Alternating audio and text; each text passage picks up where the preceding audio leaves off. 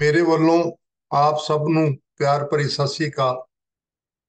ਆਪ ਸਾਰੇ ਹੀ ਤਾਸ਼ ਪਲੇਇੰਗ ਕਾਰਡਸ ਬਾਰੇ ਜਾਣਦੇ ਹੋਗੇ ਤਕਰੀਬਨ ਸਾਰੇ ਹੀ ਪੰਜਾਬੀਆਂ ਨੇ ਮਨੋਰੰਜਨ ਲਈ ਤਾਸ਼ ਖੇਡੀ ਆ, ਜਿਸ ਵਿੱਚ 52 ਕਾਰਡ ਦੇ ਪੱਤੇ ਹੁੰਦੇ ਹਨ। ਤੇ ਤਾਸ਼ ਦਾ ਸਬੰਧ ਕੁਦਰਤ ਦੇ ਨਾਲ, ਰੁੱਤਾਂ ਦੇ ਨਾਲ ਸਾਲਾਂ ਦੇ ਨਾਲ ਜੁੜ ਜੁੜ ਗਿਆ ਜਾਂ ਅਸੀਂ ਜੋੜਦੇ ਆ। ਕਿਉਂਕਿ ਤਾਸ਼ ਦੇ ਵੀ ਪੱਤੇ ਜਿਹੜੇ 52 ਹੈਗੇ ਆ, ਤੇ ਸਾਲ ਦੇ ਹਫ਼ਤੇ ਵੀ 52 ਹੁੰਦੇ ਹੈਗੇ ਆ। ਇਹ ਚ ਚਾਰ ਕਿਸਮ ਦੇ ਪੱਤੇ ਹੁੰਦੇ ਹੈਗੇ ਆ ਇਟ ਪਾਨ ਹੁਕਮ ਤੇ ਚਿੜੀਆ ਤੇ ਚਾਰੇ ਹੀ ਰੁੱਤਾਂ ਹੁੰਦੀਆਂ। ਹਰੇਕ ਰੁੱਤ ਦੇ 13 ਹਫ਼ਤੇ ਹੁੰਦੇ ਹੈਗੇ ਆ ਤੇ ਇਸ ਹਰੇਕ ਕਿਸਮ ਦੇ ਵਿੱਚ 13 ਹੀ ਪੱਤੇ ਹੁੰਦੇ ਆ। ਇੱਕ ਤੋਂ ਲੈ ਕੇ 10 ਤੱਕ ਗੋਲਾ, ਬੇਗਮ ਤੇ ਬਾਦਸ਼ਾਹ। ਤਾਸ਼ ਦੇ ਵਿੱਚ 12 ਪੱਤੇ ਹੀ ਮੂਰਤਾਂ ਵਾਲੇ ਫੋਟੋਜ਼ ਵਾਲੇ ਹੁੰਦੇ ਆ ਤੇ ਸਾਲ ਦੇ ਵਿੱਚ ਵੀ 12 ਮਹੀਨੇ ਹੁੰਦੇ ਹਨ। ਤਾਸ਼ ਦੇ ਦੋ ਰੰਗ, ਲਾਲ ਤੇ ਕਾਲਾ, ਦਿਨ ਤੇ ਰਾਤ ਦਾ। ਇਸੇ ਤਰੀਕੇ ਨਾਲ ਹੀ ਇੱਕ ਪ੍ਰਕਾਰ ਦੇ ਪੱਤੇ ਜਿਹੜੇ 13 ਹੁੰਦੇ, ਇਹਨਾਂ ਦਾ ਜੋੜ 91 ਬਣਦਾ ਹੈਗਾ 91 ਤੇ ਇਹਨਾਂ ਨੂੰ 4 ਨਾਲ ਗੁਣਾ ਕਰੋ, ਤੇ 364 ਬਣ ਜਾਂਦੇ ਹੈਗੇ ਆ। ਤੇ ਇੱਕ ਵਿੱਚ ਜੋਕਰ ਜੋੜ ਦਿਓ, ਤੇ 365 ਤੇ ਸਾਲ ਦੇ ਦਿਨ ਵੀ 365 ਤੇ ਦੂਸਰਾ ਜੋਕਰ ਵਿੱਚ ਜੋੜ ਦਿਓ, ਤੇ 366 ਤੇ ਲੀਪ ਦਾ ਜਿਹੜਾ ਸਾਲ ਹੁੰਦਾ ਹੈਗਾ, ਉਹਦੇ ਵੀ 366 ਦਿਨ ਹੁੰਦੇ ਹੈਗੇ ਆ।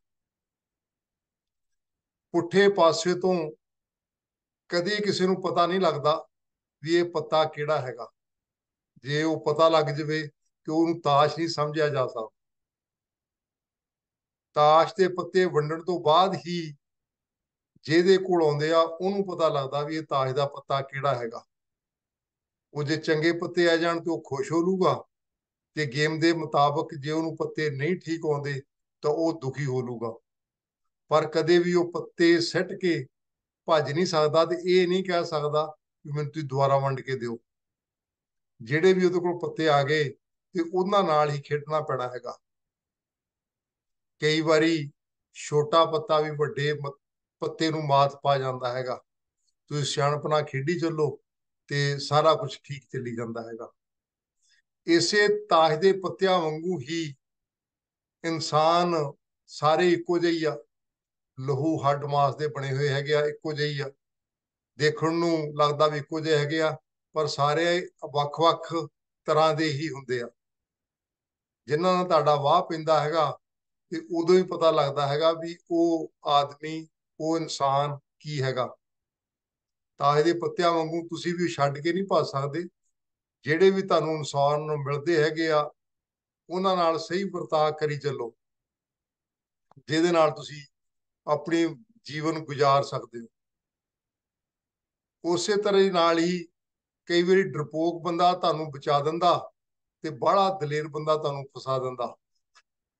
ਇੱਕ ਵਾਰ ਇੱਕ ਮੇਰੇ ਦੋਸਤ ਨੇ ਫਿਜ਼ੀਕਲ ਐਜੂਕੇਸ਼ਨ ਪਟਿਆਲੇ ਪੜ੍ਹਦੇ ਸੀ। ਉਸਨੇ ਗੱਲ ਸੁਣਾਈ ਕਿ ਅਸੀਂ ਤਿੰਨ ਦੋਸਤ ਬਾਹਰ ਘੁੰਮ ਰਹੇ ਸੀਗੇ ਤੇ ਸਾਡੀ ਕਿਸੇ ਨਾਲ ਲੱਗਦੀ ਸੀਗੀ ਤੇ ਉਹ 7-8 ਬੰਦੇ ਸੀਗੇ ਤੇ ਸਾਡੇ ਗਲ ਪੈ ਗਏ। ਜਿਹੜਾ ਡਰਪੋਕ ਸੀਗਾ ਸਾਨੂੰ ਛੱਡ ਕੇ ਭੱਜ ਗਿਆ।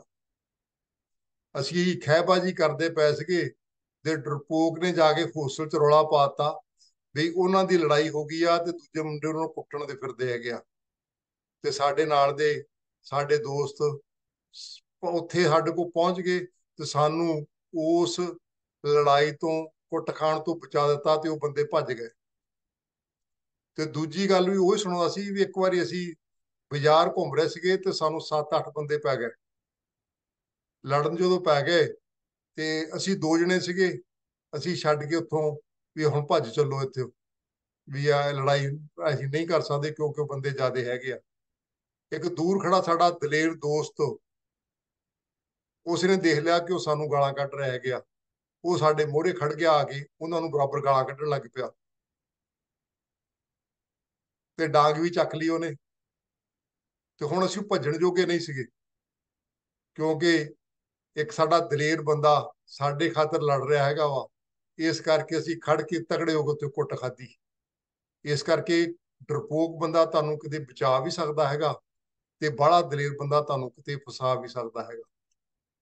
ਇਸ ਕਰਕੇ ਜਿਹੜੇ ਵੀ ਤੁਹਾਨੂੰ ਤਾਸ਼ ਦੇ ਪੱਤੇ ਮਿਲਦੇ ਹੈਗੇ ਆ, ਤੁਸੀਂ ਉਹਨਾਂ ਨਾਲ ਖੇਡਣਾ ਹੈਗਾ। ਜਿਹੜੇ ਤੁਹਾਨੂੰ ਇਨਸਾਨ ਮਿਲਦੇ ਆ, ਜਿਨ੍ਹਾਂ ਨਾਲ ਤੁਸੀਂ ਵਿਚਰਦੇ ਹੋ ਉਹਨਾਂ ਦੇ ਨਾਲ ਹੀ ਰਹਿਣਾ ਪੈਣਾ। ਹਰੇਕ ਨਾਲ ਸਹੀ ਵਰਤਾਓ ਕਰੋ। ਤੇ ਇਹ ਛੋਟੀ ਜੀ ਜ਼ਿੰਦਗੀ ਹੈਗੀ ਆ, ਖੁਸ਼ ਹੋ ਕੇ ਇਸ ਜੀਵਨ ਨੂੰ ਬਤੀਤ ਕਰੋ। ਧੰਨਵਾਦ ਜੀ, ਮਿਹਰਬਾਨੀ।